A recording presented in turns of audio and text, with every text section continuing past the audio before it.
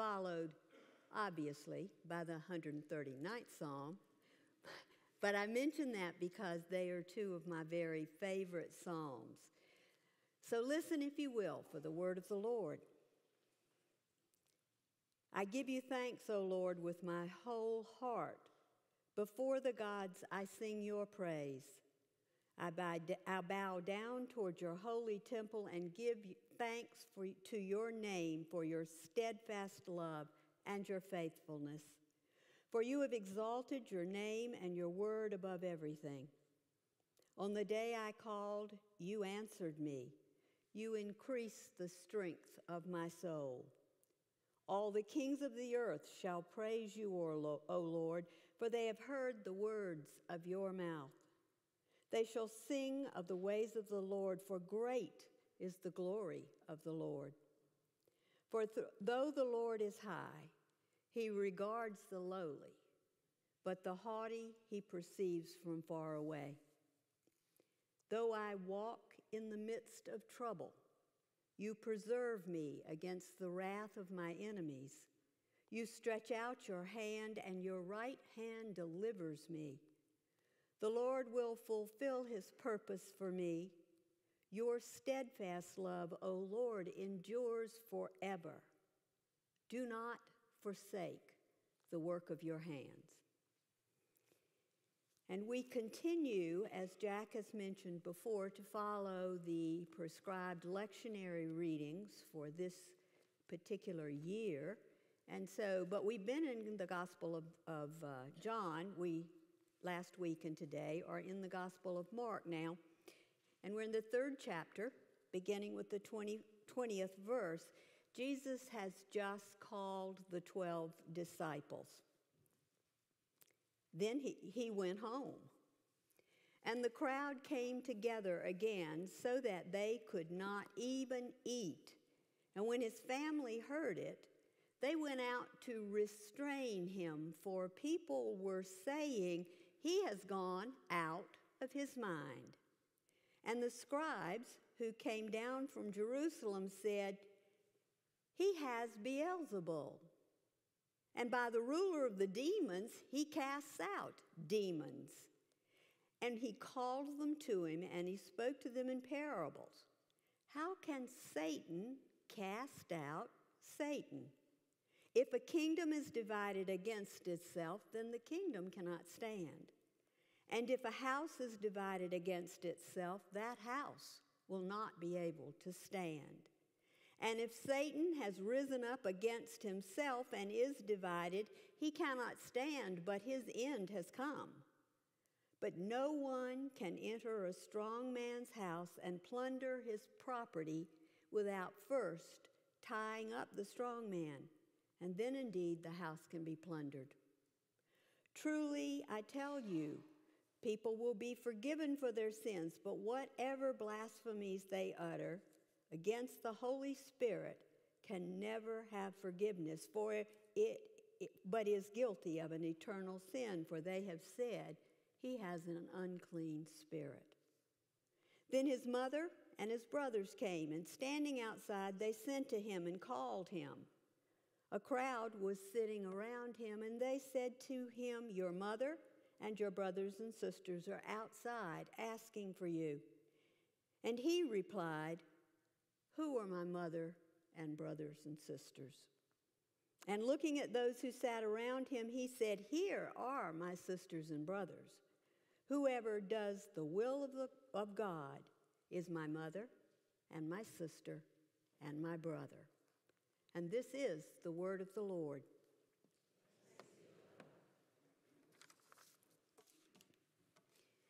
Crowds were everywhere. They even followed Jesus when he went back home and tried to get into a house where he could have just a little bit of rest. And the word about what he was doing and saying has spread all across the countryside. It's even reached back to his hometown and into the house where his mother and brothers and sisters live. And it's chaos. It is chaos.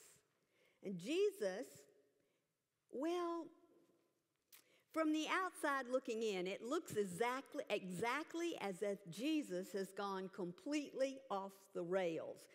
I think about it. He is accused of being in league with Satan, and he's breaking sacred laws and flouting sacred traditions. And these are things he grew up with that his mother and his parents taught him as he was maturing. Jesus is seriously in trouble with the law. Now, depending on your view, he's either mad or he's miraculous. He's causing such a stir that the, the heavy guns, the big folks, have come down. The, the powerful religious leaders have come to confront him, and, and they're plotting against him, as we know. They're plotting to arrest him and even worse. So, this is the question for you this morning. If you were Jesus' family, what would you do?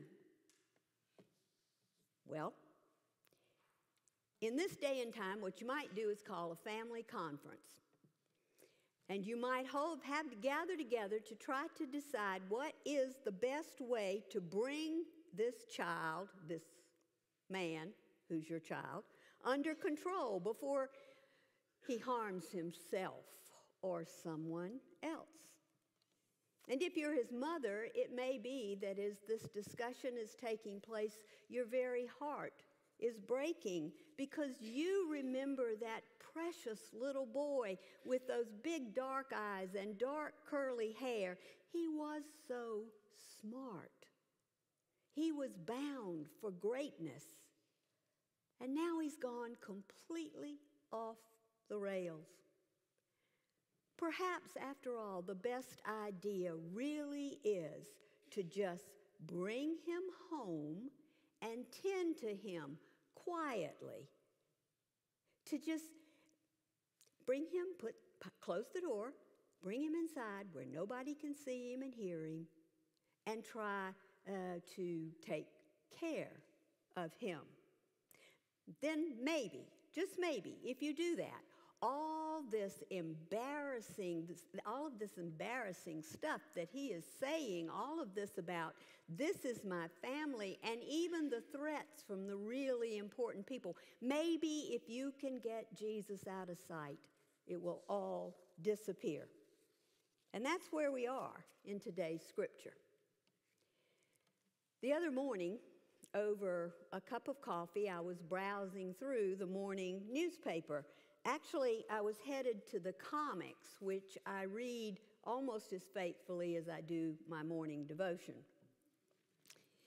I came across an editorial by a journalist who writes for one of the larger papers in the country. Now, hear me carefully. Her main issue is not relevant to what I hope you hear this morning. Hers is a political column, and it advocates a political stance, and you will not hear that from this pulpit. Nonetheless, as I looked through the column, I came in the very center of the column, about a little piece, you know, just, just a couple of column inches long. And as I read it, I have to confess, I read it a second time because it threw me for a loop. And this is what she wrote it is now commonly held that citizens can and should practice their religious beliefs in private but remain neutral in public. She goes on. It is possible that that approach rests on the assumption that beliefs are not things that influence everyday life. There's more to her writing, but is that true? Is that really true? Is it commonly held that we believe in private and live neutrally in public? That's kind of what was happening in the scripture this morning. Come on, Jesus. Come on home. You're not well. We will take care of you. Bless your heart. You've lost your way. You're losing your mind. Let's get you back in secret where we can help you, and there'll be no more embarrassing declarations about families and no more provoking the powers that be to the point of arresting you. Neutral in public, faithful in private. Now, truthfully, when I read this, my own heart hurt because my actions often convict me of neutrality. And also, in truth, this is just not the sermon I wanted to preach this morning because it hits too close to home. The question is what are you willing to do to live out your faith?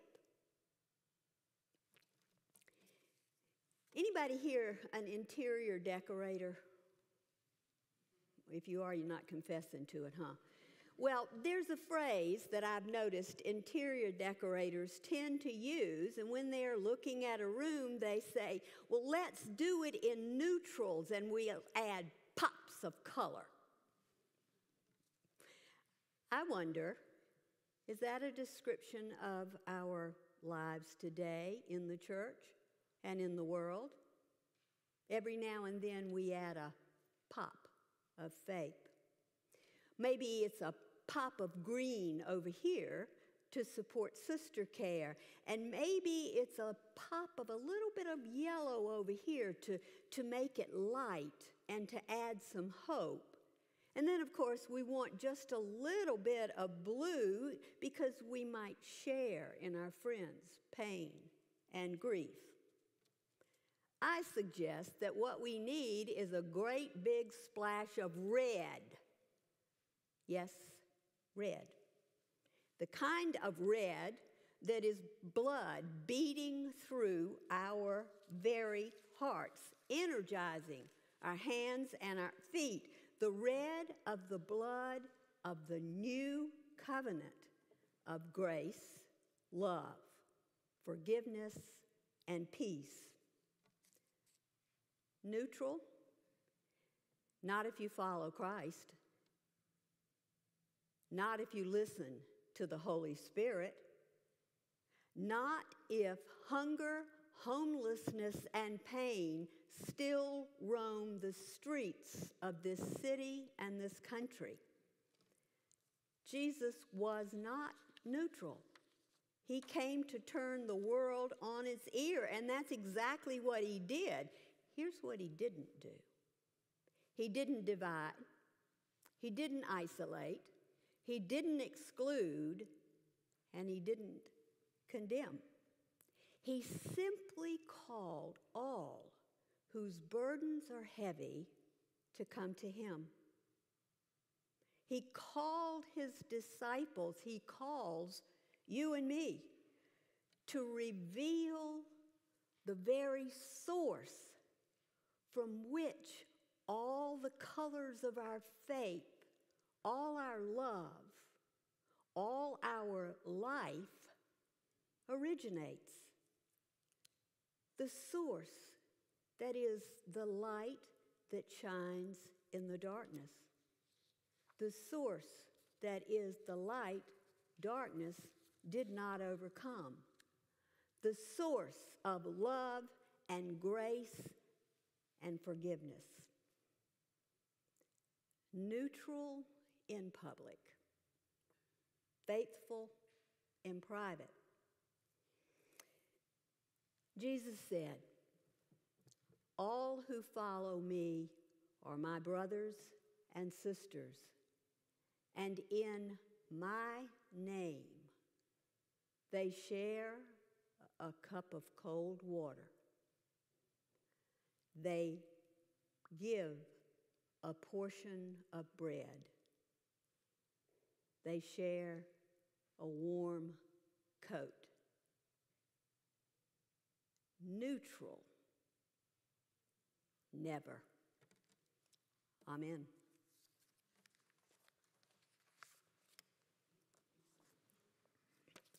Let us stand now and affirm what it is we believe using the ancient words of the Apostles' Creed.